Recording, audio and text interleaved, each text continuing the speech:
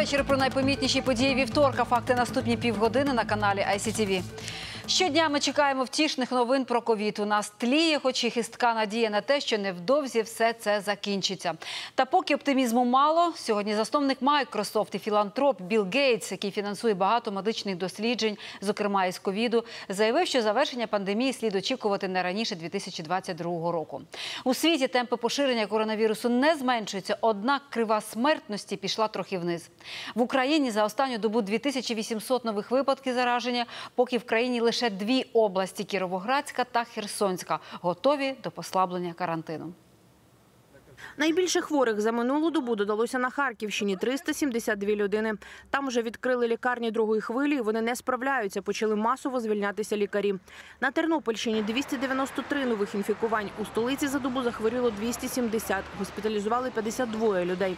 Київ перший серед усіх регіонів країни, де кількість інфікованих коронавірусом перевалила за 20 тисяч. Водночас нині у столиці значно менше заражаються медики. Як переконаний столичний мер Кличко, це тому, що вони забезпечені захистом.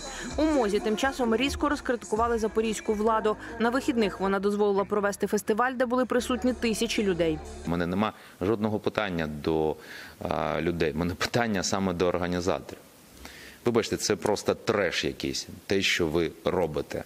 По-іншому, я, в мене просто нема іншого слова, по, коли я побачив всі світлини з проведення цього, цієї події. Так треба було обов'язково проводити концерт в такий спосіб. Наслідки святкування Дня міста мають нині у Дніпрі. Тут за добу 252 хворих на ковід. Це найбільша цифра за час пандемії. Ситуація прогнозована, кажуть медики, адже під час масових заходів тисячі людей були без жодних засобів захисту та без дотримання безпечної дистанції. Половину лікарняних ліжок заповнено. Дедалі більше людей госпіталізують у вкрай тяжкому стані. Не вистачає медпрацівників. Лікарі та медсестри відмовляються працювати з хворими на ковід. Не рятують ситуацію і доплати. Натомість за тиждень через стрімкий приріст пацієнтів п'ять разів збільшили кількість тестувань. Клиническая больница Мечникова делала 4 тысячи анализов в неделю. В настоящее время она делает 20 тысяч. 8 человек тяжелых в реанимации. Двоим вчера сделали трахеотомию. Дубно на Рівненщині нарешті вийшло з червоної зони. Там відновили навчання у дев'яти школах. Та через зростання захворюваності в області нині чотири навчальні заклади повністю призупинили роботу, а учнів перевели на дистанційне навчання. За минулу добу на Рівненщині виявили більше сотні нових випадків. Збільшилася заповненість ліжок у лікарнях першої хвилі понад 50%. У нас є певні е, застереження по заповненню ліжок.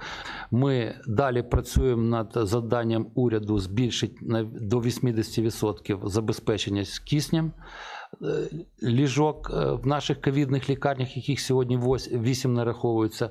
Тому МОЗ не втомлюється закликати місцеву владу дотримуватись умов карантину, а людей не забувати про маски і дистанцію, аби з настанням холодів ситуація в країні не погіршилася до критичної.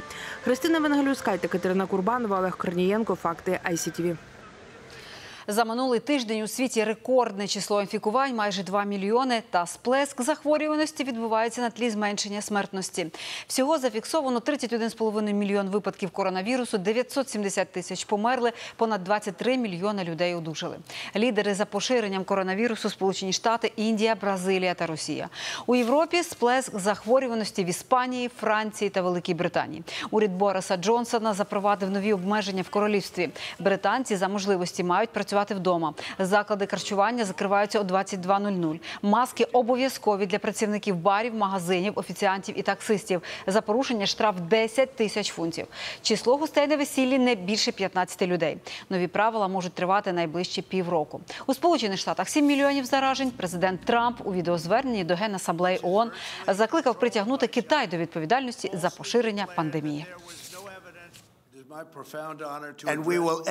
Ми повинні притягнути до відповідальності націю, яка поширила цю чуму по всьому світу. У перші дні поширення вірусу Китай заблокував подорожі всередині країни, дозволяючи літакам залишати Китай та заражати світ.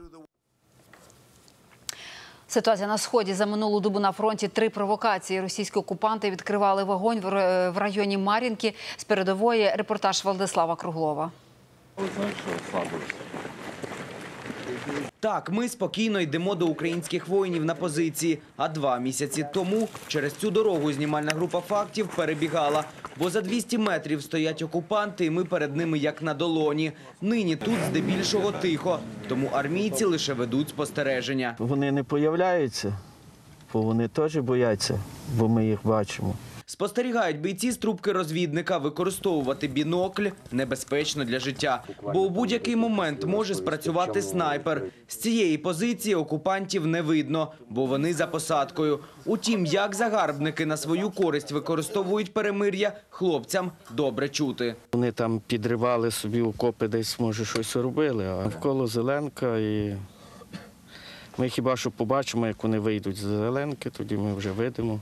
Важко побачити ворога і через доволі непросту місцевість. Вони у яру. Окупантам же спостерігати за нашими позиціями легше завдяки квадрокоптерам. Сьогодні от вночі було таке, що чотири безпілотника пролітали над нами. Два туди, два назад. Отак би фотографували всі позиції наші. Нас трошки не знаю, чи сфотографували, але над нами був проблиск світла. Значить, щось вони фотографували. Утім, окрім літальної техніки, на стороні ворога нерідко можна почути і важку бойову артилерію. До того ж, російські найманці час від часу провокують наших військовослужбовців на вогонь. У відкриту ходять перед нашими позиціями. Було чути, що десь там, там техніка під'їжджає, там щось розгружають, якісь дерева підвозять. Е, На відкрито є місця такі, що на відкрито вони собі ходять.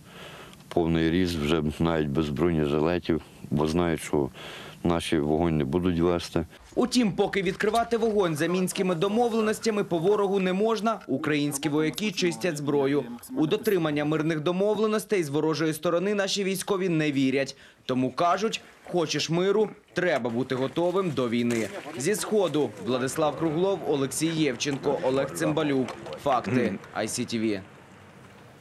Крим мучить спрага. Ще зо 30 населених пунктів півострова залишились без води, зокрема у північній частині. Там зневоднені свердловини. Тож тепер воду кримчанам окупанти постачатимуть цистернами.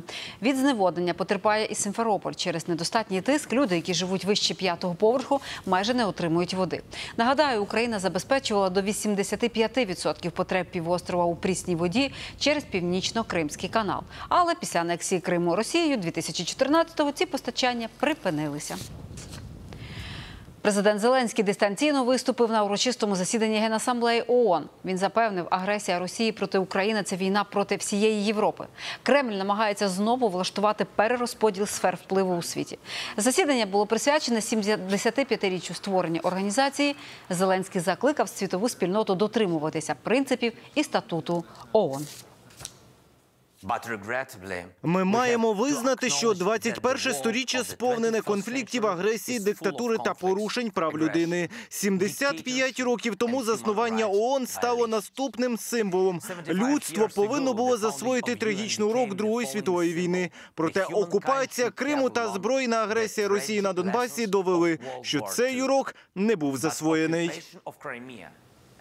Сполучені Штати готові запровадити санкції проти Кремля через отруєння опозиціонера Олексія Навального. Однак держсекретар Майк Помпео уточнює, для остаточного рішення потрібно більше доказів. Помпео наголосив, сигнал Вашингтона чіткий. Використання хімічної зброї неприйнятне. Генсек НАТО Єнс Столтенберг закликає Москву розслідувати отруєння Навального. Очільник альянсу впевнений, інцидент вимагає рішучої міжнародної реакції. Тим часом Росія і Білорусь знову проводять спільні військові навчання. Країни погодили другий етап тренувань під назвою Слов'янське братство 2020 Він стартував сьогодні на кількох полігонах у західних районах Білорусі. Закінчиться у п'ятницю. У навчаннях візьмуть участь майже 6 тисяч військовослужбовців і понад 500 одиниць військової техніки. Нагадаю, перший етап слов'янського братства відбувся всередині вересня. Білоруська опозиція тоді припускала, що російські війська можуть використати для розгону мітингувальників. Українська гривня обвалилась до найнижчої позначки з початку року. Національний банк знову послабив офіційний курс щодо долара. Сьогодні він коштує 28 гривень і 20 копійок, а в обмінниках ще дорожче. Востаннє до такої цифри нацвалюта опускалась в березні. Євро сьогодні коштує 33 гривні 20 копійок. Гривня незмінно просідає із середини серпня. Вперше за останні п'ять років споживацький попит в Україні відчутно впав. Це а також жорсткі карантинні обмеження обвалили внутрішній валовий продукт у другому кварталі майже на 11,5%. В Національному банку пояснюють, економіка посунулася вниз через карантин, зниження внутрішнього попиту і зменшення інвестицій. Українці у період ізоляції купували менше другорядних товарів, бо, по-перше, непродовольчі магазини були зачинені. А по-друге, люди берегли гроші через невизначеність у майбутньому. До того ж, Україна продала за кордон менше ніж торік сільгоспродукції, загалом і зерна, зокрема через гірший врожай. Окрім аграрного сектору, спад відчули промисловість, будівництво, it галузь та сфера послуг. У третьому кварталі економіка почне поступово відновлюватись, і на це дуже сподіваються в Національному банку. ბლანკო. Багатомільярдних інвестицій потребують українські дороги. Хоч їх нині активно будують, досі дуже багато практично непрохідних ділянок. Як приклад, траса Львів-Стрий-Калуш. Подекуди вона така жахлива, що до віддалених сіл ні пройти, ні проїхати. І це траса державного значення. Всі благання людей чиновники вперто ігнорують, а багатотонні лісовози успішно розбивають залишки покриття. Сьогодні людям терпець увірвався, і вони вийшли і перекрили дорогу. Репортаж Ірини Тимчишин. О, є автобуси, поважайте людей. Через 5 хвилин. Через, через... Не пускай! Я вас дуже прошу, є автобуси, є фури. Це є провокація. Прикарпатці перекрили дорогу на Львів через Калуш та Стрий. Пішохідним переходом ходять люди одразу з кількох сіл на трасі від восьмої ранку. Причина протесту суцільне бездоріжжя і байдужість влади до цієї проблеми. У нас е, вже немає терпіння, рейсових автобусів немає, люди не хочуть е, нищити своє майно, і людям, звичайним людям доводиться долати щодня по 5-10 кілометрів в одну сторону для того, щоб добратися на роботу.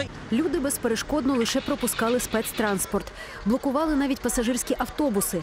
Проїзд автомобілям давали щопівгодини. Кажуть, вдалися до таких радикальних кроків через безвихідь. Їхні шляхи не ремонтували по 20 років мінімум, а залишки покриття розбивають лісовози. Можна потерпіти місяць-два. Можна потерпіти, коли зробили одну полосу, а одну не зробили. Можна потерпіти, коли зрізали, і ми розуміємо, що асфальт десь там нам варять.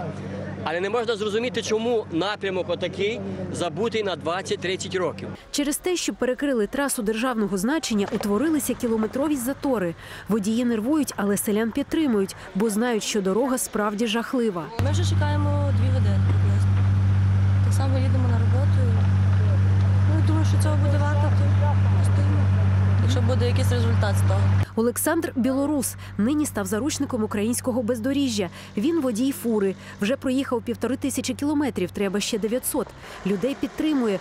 Утім, визнає, за втрачений час отримає чималий штраф. Если люди бастуют, значит, да, поддерживаем, так как и в Беларуси. Ну, у нас реальные штрафы за нарушение трудового ну, режима труда и отдыха э, 1200 евро. До селян нарешті приїхав заступник голови облдержадміністрації. Каже, цього року на ремонт доріг місцевого значення виділили понад 520 мільйонів гривень. Роблять понад 70 об'єктів. Але цього замало не вистачає грошей на підрядників, визнає чиновник. Бо з трьох тисяч кілометрів місцевих доріг більше половини в жахливому стані. Кабінет міністрів запропонував, запропонував взяти кредит е, під заставу майбутніх дорожніх субвенцій е, для того, щоб виконати додатково е, капітальні ремонти доріг. Е, Сума, яку ми запросили в е, кабінеті міністрів і в Укрексімбанку, складає 120 мільйонів. В п'ятницю на сесії обласної ради обранці приймуть рішення, чи виділять кредитні кошти на ремонт рожнятівських доріг. Люди в понеділок обіцяють приїхати під адміністрацію. Якщо їх не почують, за 10 днів знову перекриватимуть дорогу. Ірина Тимчишин, факти ICTV. В Одесі відкрили реконструйоване слідче управління МВС області. Також за розкриття особливо тяжких злочинів нагородили співробітників поліції 10 службовими автомобілями, а ще сертифікатами на 24 квартири, частина яких куплена у рамках іпотечних кредитів. Таким чином, Міністерство внутрішніх справ хоче створити найкомфортніші умови праці для своїх співробітників. Тим паче Одещина один з найбільш кримінальних регіонів країни. На одного слідчого припадає до 260 справ на рік. Керівництво МВС і Нацполіції також запевняють, що забезпечить проведення чесних і прозорих місцевих виборів. Міністерство внутрішніх справ створений міжвидавчий е, координаційний центр. Е, Низка ситуаційних центрів створена в областях нашої держави. Е, 136 тисяч правоохоронців буде залучення до забезпечення безпеки Отже, 25 жовтня в Україні місцеві вибори. За останніми даними соціологів, явка очікується на рівні 45%. І це оптимістичний сценарій для такого голосування. Обиратимемо владу різних рівнів, тому документів для голосування буде кілька. У більшості населених пунктах виборці отримають по 4 бюлетеня. За керівника населеного пункту, депутатів сільської чи міської ради, депутатів районної і депутатів обласної ради. П'ять бюлетенів отримують виборці Житомира, Кривого Рогу, Кропивницького, Полтави, Херсона, які додатково обиратимуть представників районних у місті рад. Факти вирішили заздалегідь допомогти вам розібратися з цими бюлетенями. Слово Оксані Михайловій. За місяць до місцевих виборів українці лише починають придивлятися до кандидатів і лише одиниці знають про нову виборчу систему, пропорційну і з відкритими списками. Це вперше ми будемо обирати не лише партію, а й конкретного кандидата від неї. Але тут доведеться попітніти, бо заповнити бюлетень геть непросто. Отже, 25 жовтня більшість українців отримають на дільниці 4 бюлетені. Обиратимуть очільника населеного пункту, тобто сільського чи міського голову, депутатів місцевої ради, районної, а також обласної. Але є і винятки. Кияни матимуть найменше мороки. Кожен отримає усього два бюлетені, бо обирають лише мера та міську раду. Водночас у Полтаві, Житомирі, Кропивницькому, Херсоні, Кривому Розі виборчих документів буде по п'ять. Бо тут голосуватимуть ще й за районні в містах ради. Усі бюлетені будуть відрізнятися за кольором, але є ще одна новація.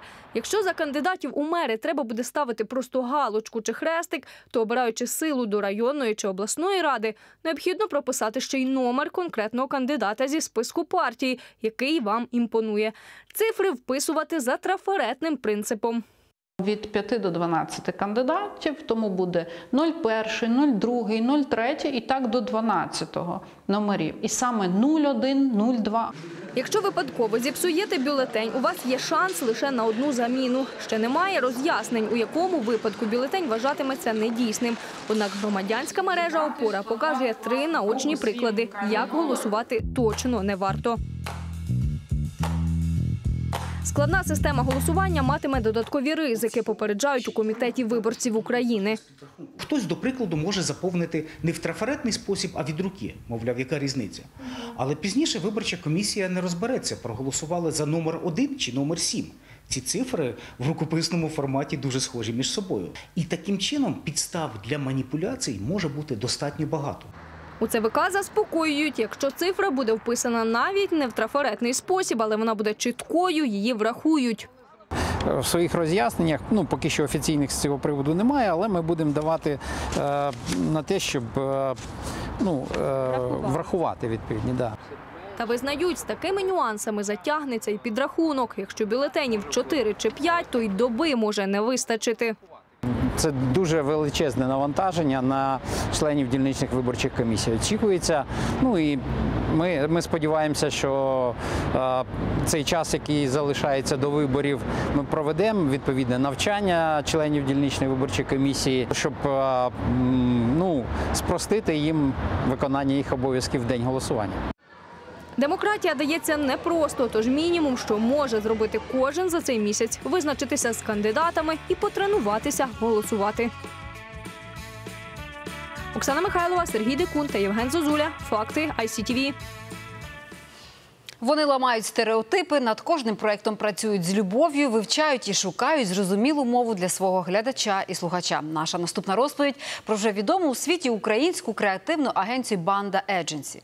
Це тут розробляли брендинг і лого для Євробачення 2017, створили рекламний бренд Ukraine Now. Банда веде рекламну кампанію провідним банкам і найприбутковішим фірмам. За 10 років з маленького офісу в квартирі банда докреативилась до міжнародного офісу в Каліфорнії. Про креатив який працює. Тетяна Борисович. Оця нагорода ми стали найефективнішим незалежним агентством в світі. Від офісу у квартирі до найефективнішої незалежної агенції світу з власним офісом у Каліфорнії. Такий десятирічний шлях українського креативного агентства Банда. Це вони створили брендинг Євробачення 2017, за який отримали гран-прі престижного міжнародного дизайнерського конкурсу Red Dot.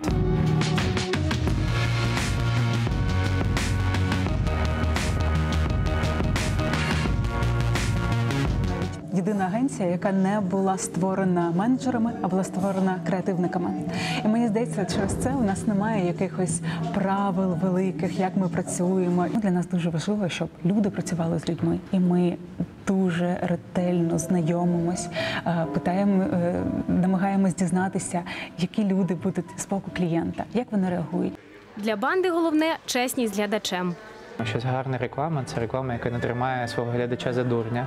Тобто це реклама, яка там говорить спробуй неймовірний смак там нашої кави, яка надихає на неймовірні звершення. От мені здається, що це все ну так люди, люди в житті, в житті так не розмовляють. І це от такий рекламна, рекламна мова, до якої в людей вже ну мені здається бар'єр. Саме банда створила нову мову української реклами.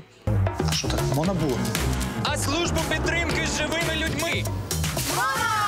Два роки тому спільно з урядом банда розпочали проєкт Ukraine Now, покликаний сформувати бренд України у світі, залучити інвестиції і туристів. І британський уряд допомагав в цьому нашій державі. Вони проводили дослідження, і Україна в світі зараз асоціюється. Це було в 2017 році. Е, Корупція, революція, війна. Ще один проєкт банди символіка для Національного художнього музею України. До речі, компанія зробила це для закладу за символічну плату тисячу гривень. Ми зробили компанію і зробили брендинг, який розкриває українську креативність крізь, крізь сторіччя. Показує, як багато всього у нас є, чим ми можемо пишатися. Завдяки банді до художнього музею потяглися відвідувачі. Тобто креативність дала результат. Для агенції головна місія робити креативність в Україні значущою. Що більше сфер вдаватимуться до творчих рішень, то швидше наша економіка розвиватиметься. Наступним викликом для банди стане проєкт формування позитивного іміджу Чорнобиля. Креативники хочуть переконати світ, що ЧАЕС це набагато більше ніж законсервована зона відчуження. Тетяна Борисович, Сергій Дикун, факти ICTV. ТВ. Сірі заговорить українською. Компанія Apple шукає працівника, який навчить нею говорити голосового помічника. Кандидат має досконало володіти українською мовою і розрізняти її діалекти.